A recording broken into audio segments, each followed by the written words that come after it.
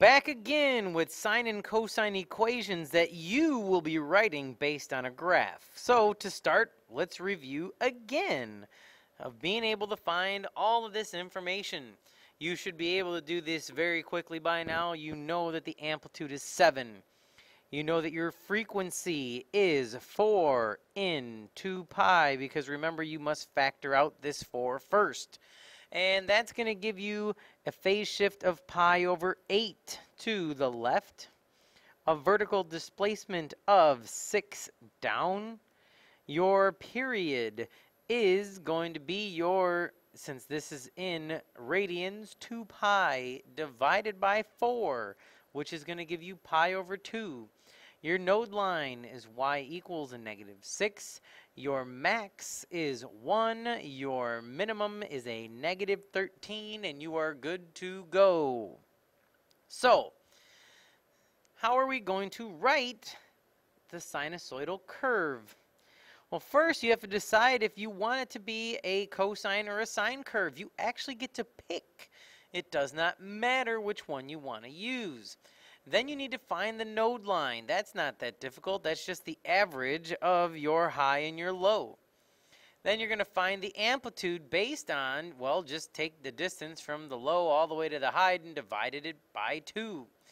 And then what are you going to do from there? Well, how about you write an inequality to find your B and C, the frequency and the phase shift.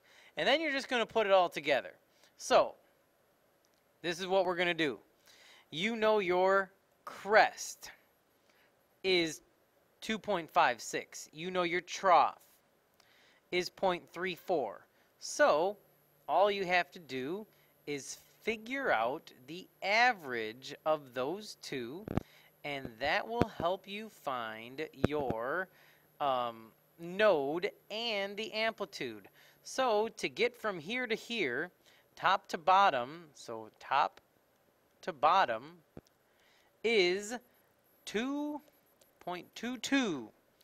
All you have to do there is subtract. 2.56 minus 0.34 is 2.22, which means your amplitude is half of that.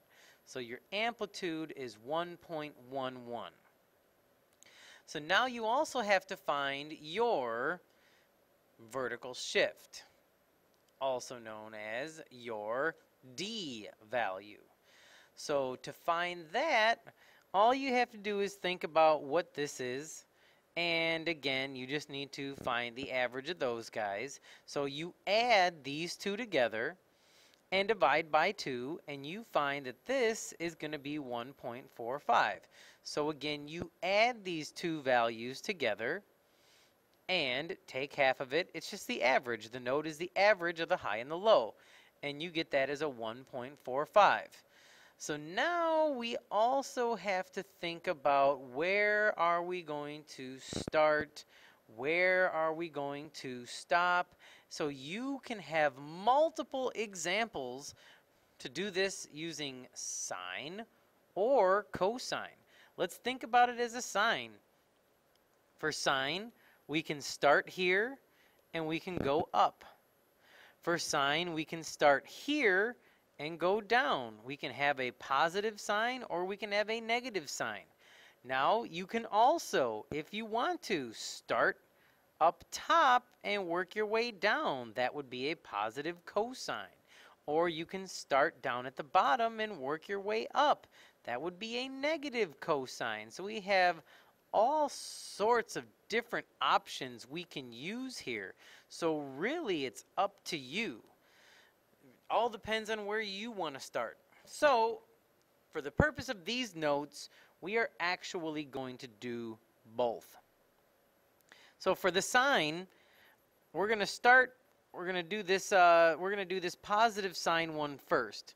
So that has a start at negative 16, which we know is less than or equal to theta, which is less than or equal to.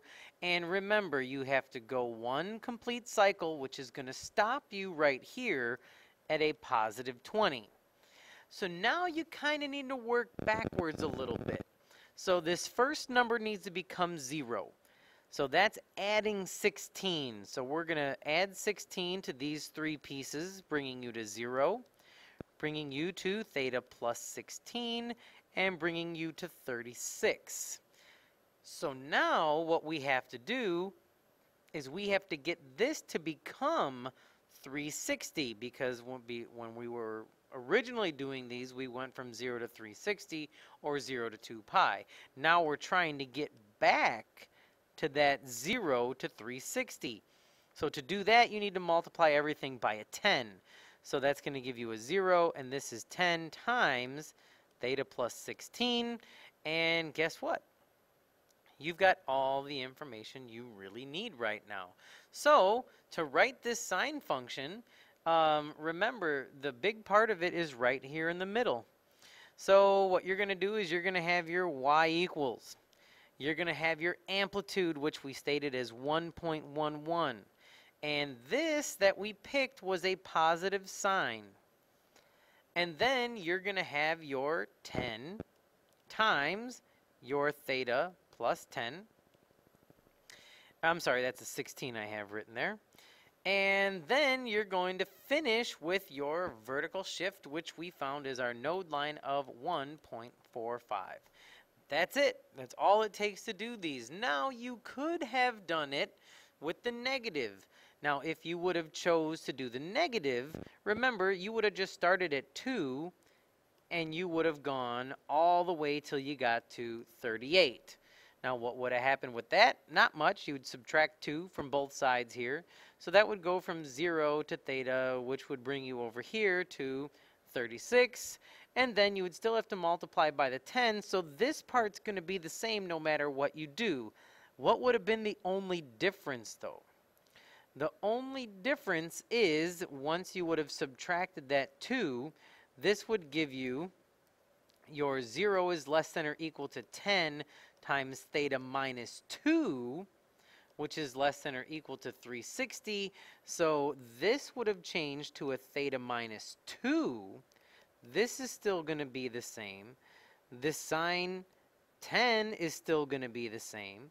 The 1.11 is almost going to be the same. The only difference is, is this is where sine starts by going down, so that's a negative 1.11. Okay, so it really doesn't matter. Now, we also have two options for cosine. We're only going to do one. The node is still the same. The amplitude is still the same. The only difference is where are you starting? So we're going to start uh, for this one at the top. We'll do a positive cosine. So your start is at a negative 7.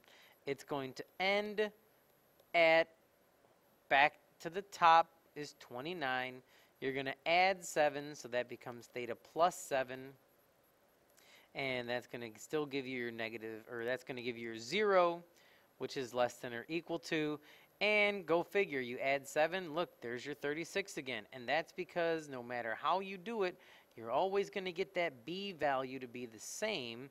Um, and no matter if you're doing a positive sine, a negative sine, a positive cosine, or a negative cosine. Okay, so you still got that part. That work doesn't change. So your final answer would just be y is equal to a 1.11.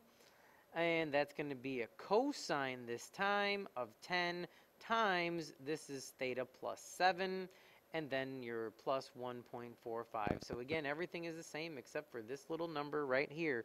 And that all depends on whether or not you choose to do a positive or negative sine or cosine. Okay? That's it. That's how you do it. So here you go. Here's another example. This one is for you to try, and then we are done. Now, I challenge you to do one sine and one cosine, and then I am actually just going to list multiple different answers you could have based on where you want to start and where you want to stop. So remember, you can start here. You can start down here. You can start over here. You can start up here. You can start over here. But remember, you don't want to go too far because you need to be able to have a stopping point. So the furthest you can go would be out here if you choose to go find what that number is um, because it's not listed here on the scale. So you'd have to do that yourself. So to be honest with you, I would do one of these start, start here and stop here, or start down here, maybe start here, start here, start here, you know, but beyond that, you're going to have to start finding pieces, so I wouldn't start any further than that, but I'll let you choose. So I challenge you to do one sine, one cosine. I will list six different answers, and you see if yours match. So go ahead and give it a try. All right, so what are we going to do here? Which one of these did you get? Um, there was all sorts of different ones you can do. Now, a little trick for you. Um, you don't have to do all the starting and stopping to figure out your shift. That you can just pick by saying, well, this has got to be pi over 18 to the left if I started here. This is pi over 18 to the right. This is no horizontal shift at all. This is pi over 9 to the right when I'm going down. So all of that you could do from the graph. But the question is, what number did you get here for your b? How did you do that? Well, that's where you need to sit and look at this for a moment, okay? How are you going to get this b? So remember, your period, which is this, your period, is equal to 2 pi divided by b. So if your period is 2 pi over 9, and that's equal to 2 pi divided by b, in this case, b has to be 9. So that's how we got the b value of 9. Okay, so I just wanted to show that one step. Otherwise, if you have any of these uh, three sine, any of these three cosine, you are good to go. This is Longo and I'm out. See you, bye.